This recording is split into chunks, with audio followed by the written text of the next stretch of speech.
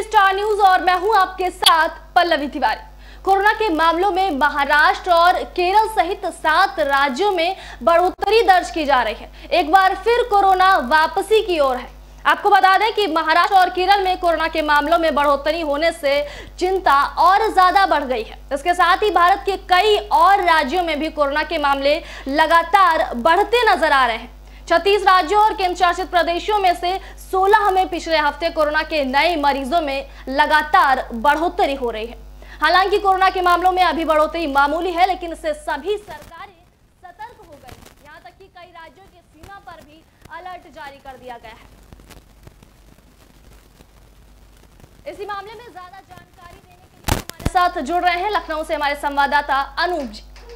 Anoop ji corona के मामलों में लगातार बढ़ोतरी होती दिखाई दे रही। क्या एक बार कोरोना फिर से वापसी की ओर है?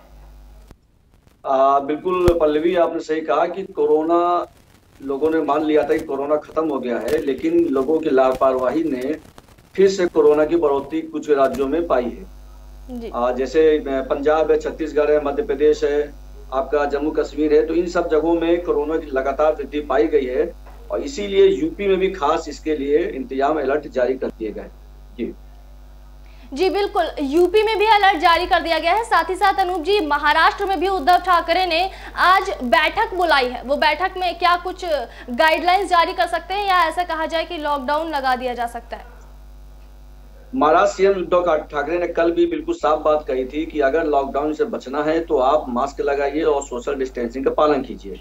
क्योंकि वहाँ पर अभी एक वीआईपी शादी जो कल हुई उस पर भी आपत्ति हो गई है जो क्योंकि वहाँ लोगों ने सघन आबादी होने होने के कारण वहाँ पर लोगों ने कोरोना से बिल्कुल बचाव के सारे इंतज़ाम करने बंद कर दिए। जिसकी वजह से कोरोना ने फिर से एक बार सर उठाया है और जिसे आप दूसरी लहर भी कह सकते हैं तो लगातार बढ़ती जा रही है। तो बिल्कुल बेशक सीएम उद्धव ठाकरे बार बार ये कह रहे हैं कि अगर आपको लॉकडाउन से बचना है तो आप मास्क लगाएँ सोशल डिस्टेंसिंग का पालन करें। तो बेशक वहाँ पे कुछ राज्य कुछ शहरों में लॉकडाउन लग सकता है। जी, बिल्कुल। महाराष्ट्र के साथ साथ कई राज्यों में कोरोना फिर से ज़ोर पकड़ रहा है। जी, अनूप जी, होली भी आ रही है, साथ ही साथ पंचायत चुनाव आ रहे हैं और एक और शिवरात्रि भी आ रही है। तो इन सभी त्योहारों पर और पंचायत चुनाव पर कोरोना का असर देखने को मिल सकता है। बिल्कुल, ये बहुत बड़ी चुनौती होगी सरकार के लिए, चाहे कोई भी राज्य हो। उन राज्यों की सरकारों की बहुत बड़ी चुनौती होगी, खासकर यूपी के लिए, क्योंकि यूपी में पंचायत चुनाव भी आ रहे हैं।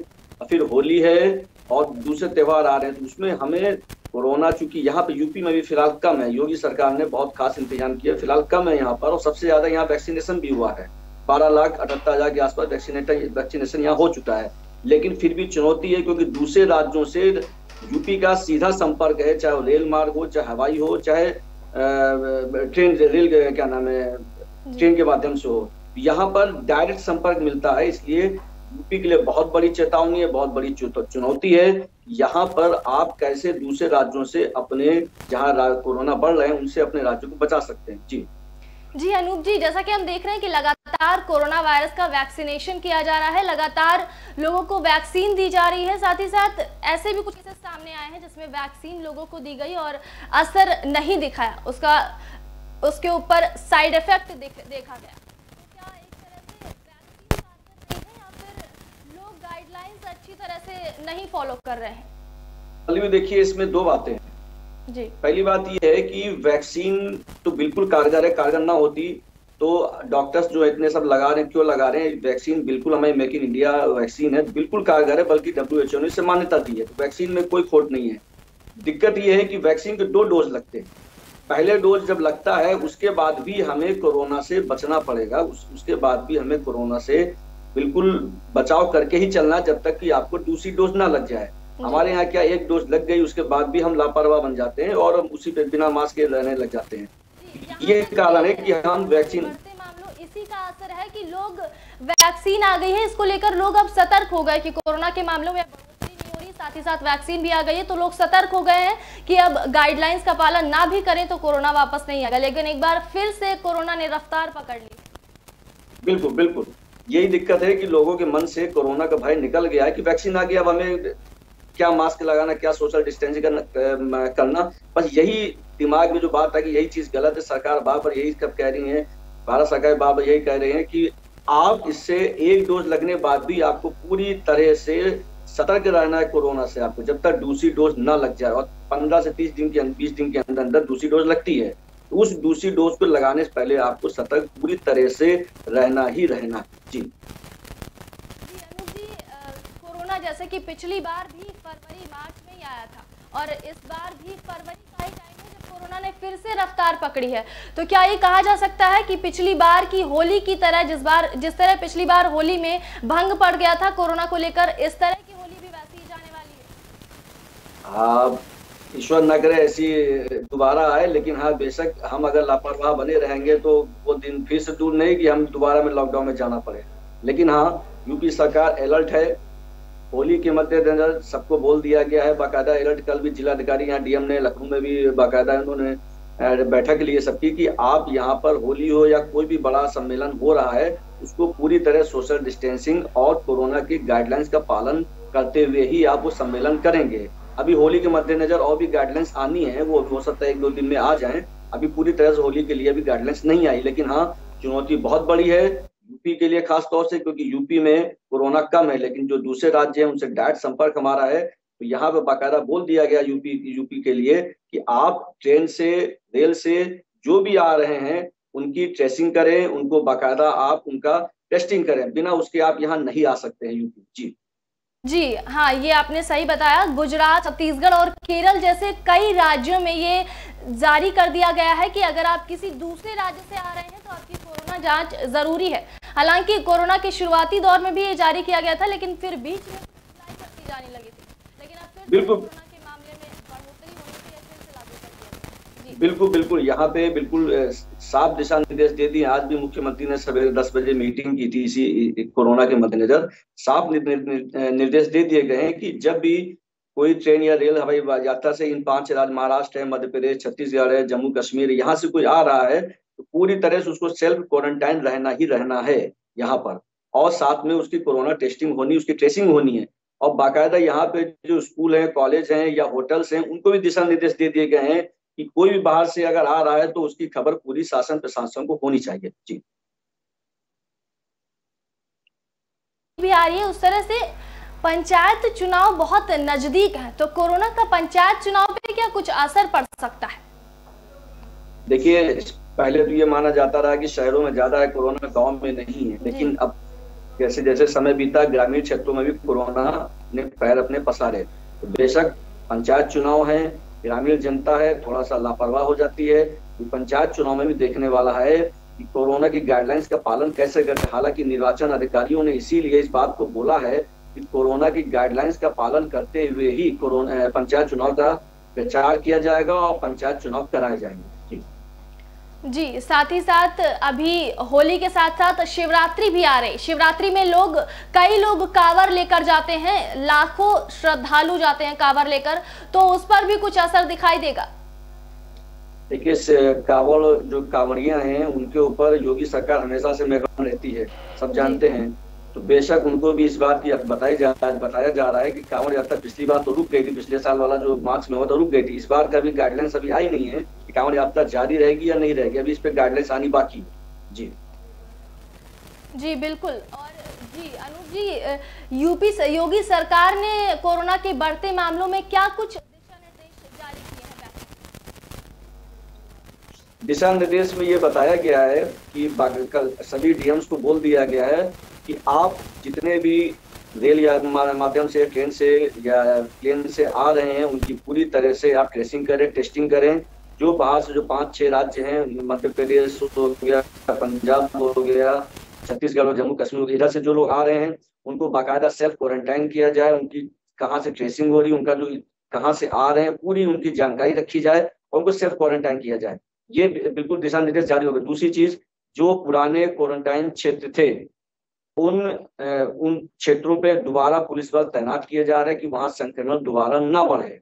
जो पुराने लॉकडाउन वाले क्षेत्र थे, उनको दोबारा वहाँ पुलिस बल तैनात किया जा रहा है कि ना, वहाँ पे बाकायदा ध्यान रखा जाए, क्योंकि सघन आबादी वाले क्षेत्र से वहाँ एक बार, दो बार नहीं तीन तीन बार वहाँ संक्रमण बड़ा जिन जिन क्षेत्रों में, एरिया में, मोहल्लों में, वहाँ पुलिस बल बाकायदा तैनात किया जा रहा है। साथ में जो रेलवे स्टेशन है, बस अड्डे हैं, वहाँ भी पुलिस बल तैनात किया जा रहा है कि बाहर से जो है उसकी टेस्टिंग की जाए और टेस्टिंग की संख्या लगातार बढ़ाई जा रही कल ही एक लाख तीस हज़ार टेस्टिंग यूपी में अकेले की गई है। तो टेस्टिंग पे ज़्यादा ज़्यादातर ज़ोर दिया जा रहा है। आज इस बात को बोला गया है कि लापरवाही बिल्कुल नहीं सोशल डिस्टेंसिंग और मास्क का प्रयोग हर हाल में हर व्यक्ति को करना है। जी। जी, अनूप जी, कई राज्यों में कोरोना के बढ़ते मामलों को लेकर कई राज्यों में सीमा पर भी अलर्ट जारी कर दिया गया है। जैसे कि पिछली बार फरवरी मार्च में, फरवरी मार्च से लेकर अगस्त तक कई सीमाएँ, ज़्यादातर सीमाएँ बंद थी। उसके बाद सीमाएँ अनलॉक के बाद खुलने लगी थी लेकिन फिर अब कोरोना के बढ़ते मामले को लेकर कई राज्यों की सीमाओं पर भी अलर्ट जारी कर दिया गया है। बिल्कुल बिल्कुल। सबसे पहला यही एक काम सरकार करती है कि अगर किसी राज्य में उसे पड़ोसी सटे हुए राज्यों में कोई कोरोना कोरोना का संकट फैलता है तो दूसरा राज्य जो जिसकी सीमा लगी होती वो वहाँ पे अलर्ट जारी कर देता है। वो वहाँ पे जो आवागमन हो जाता है उस, उसके लिए टेस्टिंग या जो रैपिड टेस्टिंग होती है, उसको करने की सुविधा वहाँ पर दी जाती है। क्योंकि दूसरे राज्यों से ताकि यहाँ संक्रमण ना आ सके, जैसे यूपी और दिल्ली का देखा गया अक्सर कि दिल्ली में जैसे संक्रमण बढ़ा था, यहाँ पे यूपी में बॉर्डर पे बाकायदा टेस्टिंग बढ़ा दी गई थी या रोक दिया गया लेकिन फ़िलहाल अभी ऐसी स्थिति नहीं आई है। हाँ इतना ज़रूर, सतर्क ज़रूर है कि टेस्टिंग अगर किसी को, जैसे फ्लू वगैरह है, जुकाम वगैरह है तो ऐसे यात्री अगर आते हैं तो वहाँ उनकी टेस्टिंग ज़रूर की जाए, इसका ध्यान अभी रखा जाए। जी। जी जैसा कि अभी आपने बताया कि सभी राज्यों में सीमा पर अलर्ट जारी कर दिए जाते हैं, क्योंकि अगर दूसरे राज्यों से, इस राज्य में अगर इंसान आएगा और संक्रमित है तो दूसरों से संपर्क में आने से यहाँ पर भी लोग संक्रमित हो जाएँगे। तो क्या सीमा पर अलर्ट जारी करने के साथ साथ दिशा निर्देशों को पालन करने के साथ साथ क्या हम ये मान सकते हैं कि लॉकडाउन की ओर एक बार फिर से बढ़ रहा है? नहीं ये अभी कहना थोड़ा जल्दबाजी होगा पल्लवी की। लॉकडाउन हाँ जिन राज्यों में लॉकडाउन संक्रमण ज़्यादा बढ़ गया जैसे महाराष्ट्र है तो महाराष्ट्र में दो तीन जो शहर है उसमें लॉकडाउन लगेगा। जैसे सीएम ने इसकी उद्धव ठाकरे ने इसकी संकेत भी दिए लेकिन हाँ अभी चूँकि यूपी है यूपी में ऐसी संभावना नहीं है लेकिन हाँ जिन राज्यों में बढ़ रहा है क्योंकि इस हर कोई राज्य है वहाँ हर पूरे पूरे राज्य में नहीं बढ़ रहा है। कुछ एक दो उसके ज़िले हैं जहाँ संक्रमण तेज़ी से फैल रहा है। तो जिन जिलों में फैल रहा है हाँ वहाँ पे ज़रूर एक हफ़्ते के लिए या चार दिन के लिए वहाँ लॉकडाउन ज़रूर लग सकता है। जी। जी आप अनूप जी हमारे दर्शकों को बताइए कि किन किन राज्यों में ऐसी संभावना है कि आ, आने वाले दो तीन दिनों में लॉकडाउन लग सकता है? तो महाराष्ट्र हो गया और किन राज्यों में ऐसी संभावना है?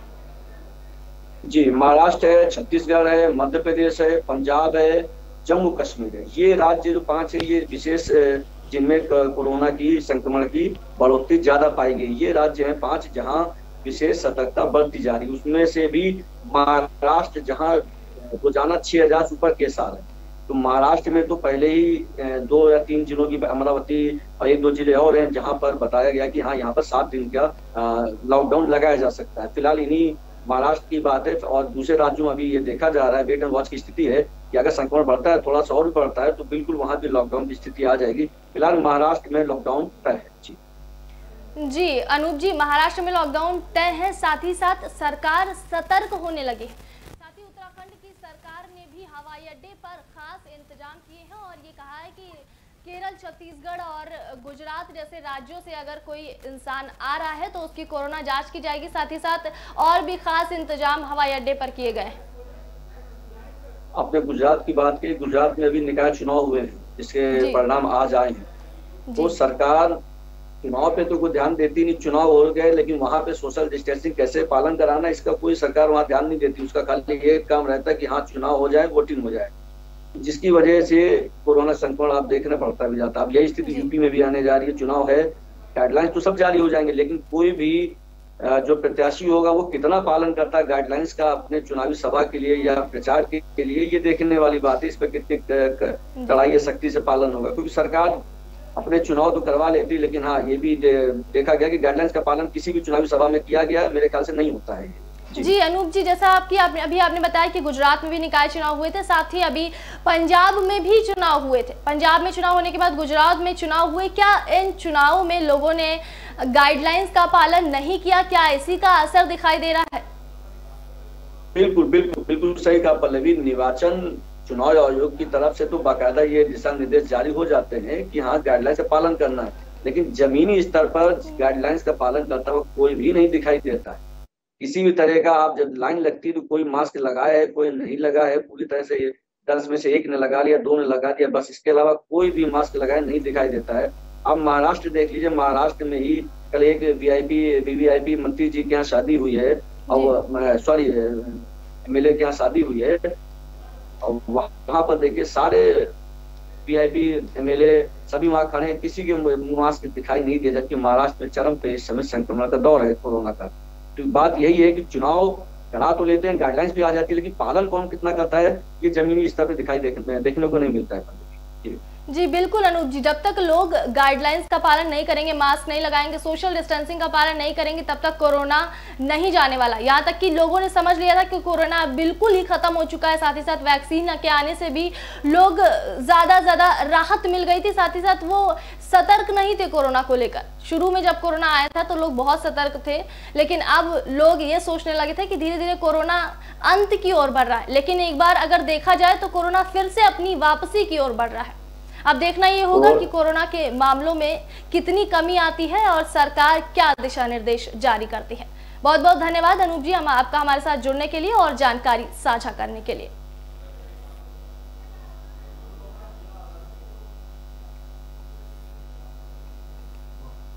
इसी के साथ अभी के लिए इतना ही। फ़िलहाल देखते रहिए एबी स्टार न्यूज़। नमस्कार।